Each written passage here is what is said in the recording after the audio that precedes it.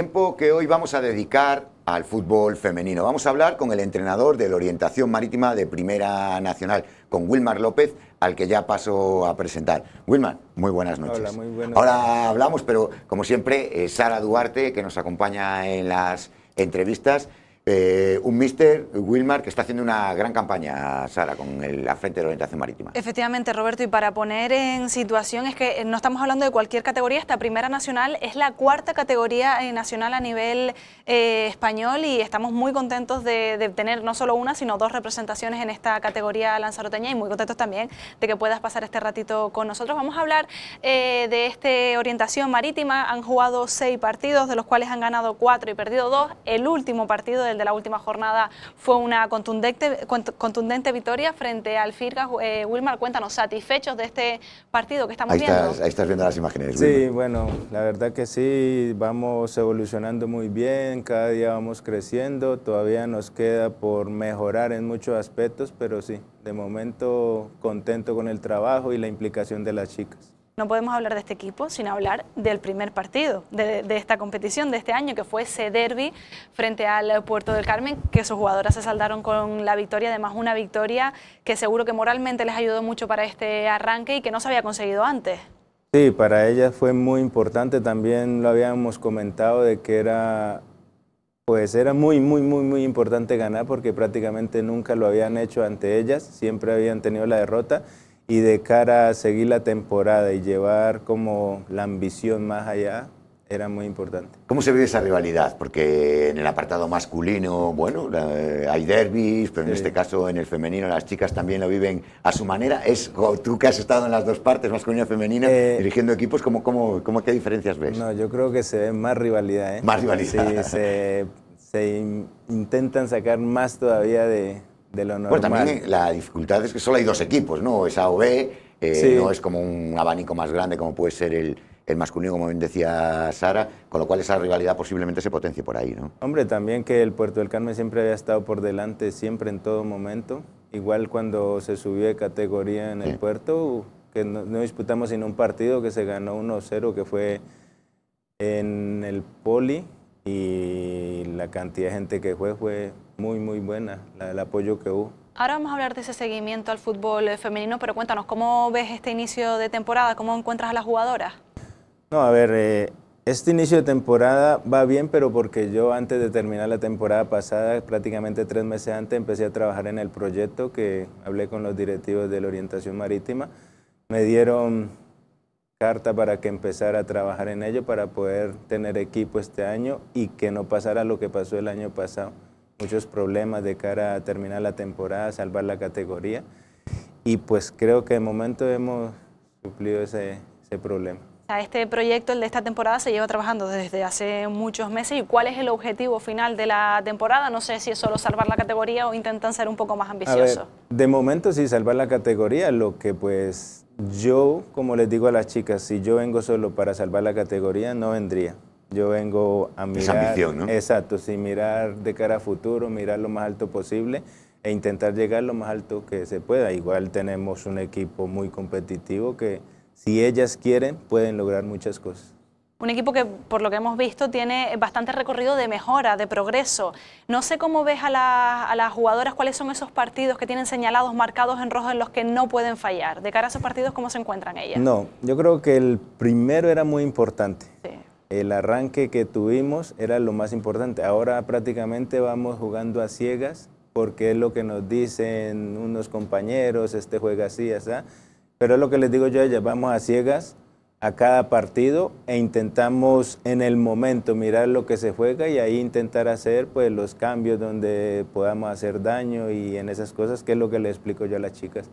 Pero vamos, sin duda uno de los partidos que está en rojo es el también el próximo derby, aún queda, pero esa rivalidad con el Puerto del Carmen, como comentaba Roberto, va a marcar la diferencia del, de media tabla o incluso intentar estar un poco más arriba. Bueno, la verdad que en eso no he tenido énfasis ni lo he propuesto a las chicas, porque ya yo creo que el primer partido era el más importante, este no...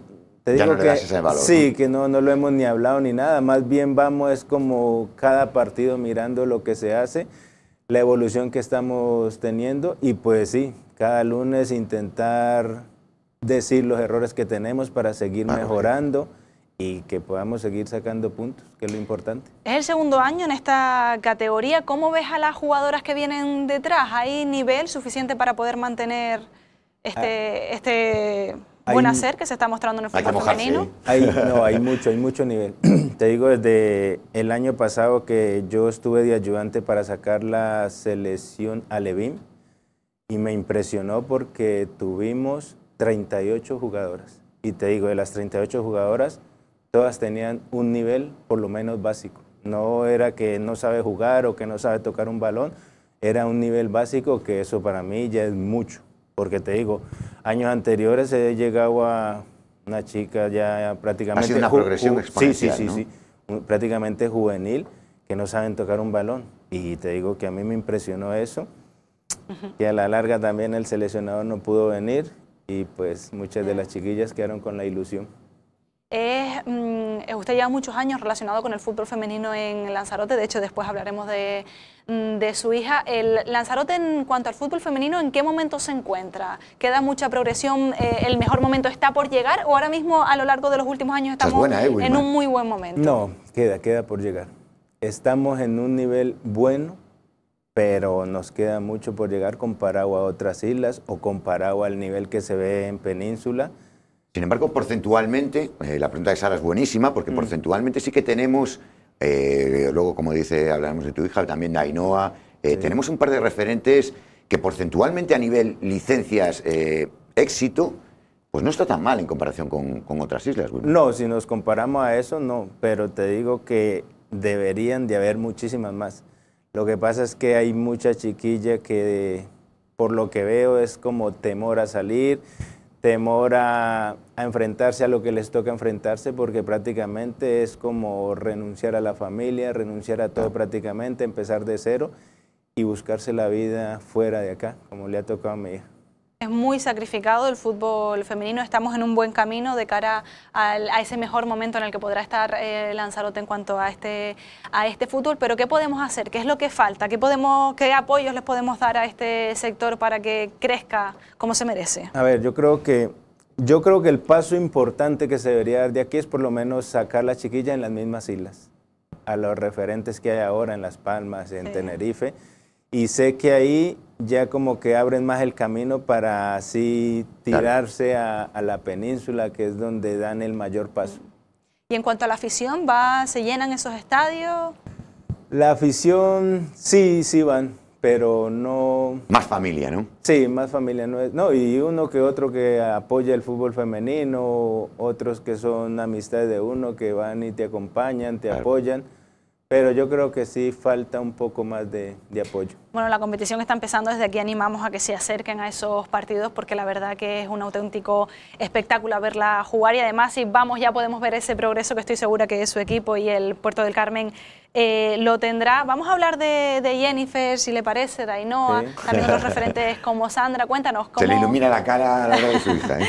bueno, Jennifer López es la hija de Wilmar, es jugadora profesional de ahora mismo en el Betis, internacional. Cuéntanos cómo se encuentra y ahora mismo está en Lanzarote, me comentaba. Sí, ahora mismo está lesionada. La verdad que ha sido un varapalo para ella porque pues no pudo ir a la selección española por una pequeña molestia que tenía.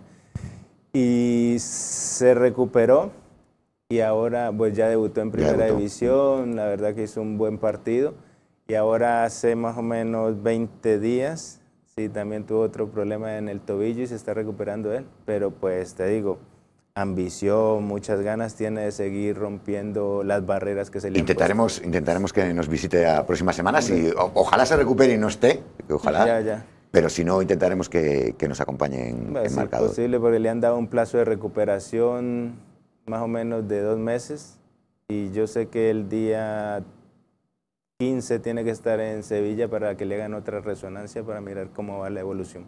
Es difícil, pero lo estamos viendo, se puede. ¿Qué ha tenido Jennifer en cuanto a apoyo? A lo mejor usted también que ha estado más relacionada a este mundo, eh, ella ha tenido la posibilidad de poder dedicarse a esto, o qué le falta a otra jugadora que sí ha tenido Jennifer para poder dar ese paso y salir y atreverse? Mucho apoyo, apoyo de los padres. Ah, claro. Es muy complicado en ese sentido. Los padres, bueno, en este caso, por, lo hablo por mi equipo, hay muchos padres que llevan la chiquilla a entrenar, pero la tiran al campo, hay muy buenas. La llevan al partido de muy pero nunca están en la grada apoyándola. Y yo creo que eso es fundamental para las chicas, que se sientan arropadas por lo menos de los padres, que estén ahí en la grada, que vean, que la apoyen. Eso implica mucho a las jugadoras. Y esto lo podemos extrapolar a cualquier deporte porque... Sí, sí, a cualquiera, eso está clarísimo. Yo te digo porque yo incluso en mis tiempos dejé incluso de trabajar para poder apoyar a mis hijos, irlos a ver entrenar, irlos a ver jugar. Y pues con mi hija me ha estado complicado este año porque pues claro, con, con el compromiso que tengo con el orientación marítima ahora femenino, y pues los viajes a Sevilla se complican un poco, no es como antes aquí en Tenerife, que te ibas el mismo día, la veías jugar, pasabas el día con ella y volvías por la noche, pero allá ya más complicado, no he podido incluso ni ir a verla. Bueno, seguro que llegará el momento. Jennifer ha tenido apoyo. Bueno, sí que la ves, perdona, la ves por la tele. Ah, no, sí, claro, sí, porque ahora también, esa es otra ventaja también, que ahora son compró los derechos televisivos y cada ocho días se puede seguir los partidos. Tarde, pero ya era hora, pues lo que comentaba. Jennifer ha tenido apoyo y también talento. No sé si ese talento también lo, tienen en, lo tenemos en esta categoría de primera nacional. Sobre todo quería hablar del sacrificio. Estamos hablando ahora de que es muy difícil compaginar familia, compaginar entrenamiento. No sé si el sacrificio que están teniendo sus jugadoras, si llega a completar la plantilla cada fin de semana, si eh, faltan muchas jugadoras a los entrenamientos. ¿Cómo llevan ellas ese sacrificio? No, al principio sí me costó un poco porque te digo también, vienen, a ver, si te acostumbras a algo, te acostumbran a algo, pues es complicado cambiar esos sistemas. Me ha tocado empezar, al principio muchas jugadoras creían que era como quien dice, entreno un día, juego el domingo, o a veces no por cuestiones de trabajo, entonces no pasa nada, pero voy a jugar, ¿no? Yo eso tengo que quitarlo porque yo les dije que eso no, no me implicaba la plantilla la que entrena juega y la que no, pues no, pero así sea.